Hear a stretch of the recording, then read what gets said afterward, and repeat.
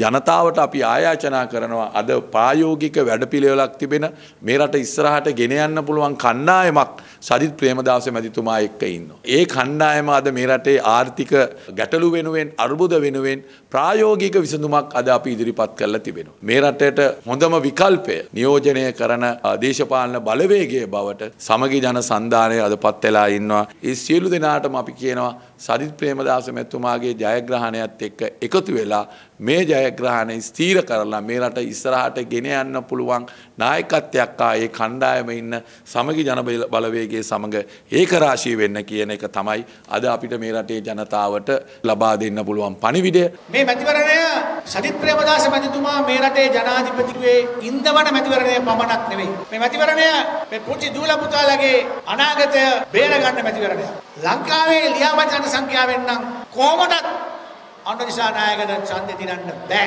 හැබැයි ප්‍රායෝගිකව මේ වෙනකොට සජිත් ප්‍රේමදාස මැතිතුමා ලක්ෂ 55 ඉඳලා ලක්ෂ 70 වෙන මේ ලක්ෂ 85ක් දැන් පන්නලා ඉවරයි. දැන් සජිත් ප්‍රේමදාස මහත්මයාට තියෙන්නේ 22 වෙනිදාට ඡන්ද ගණින්න නෙවෙයි වැඩි ඡන්ද ප්‍රමාණය ගණින්න විතරයි. එතුමා දැන් දොබෙන් දිලා තියෙන්නේ දොබ තෙලෙන් මෙතුමා ජයග්‍රහණය කරවීම තමයි අපි කළ යුතු වන්නේ.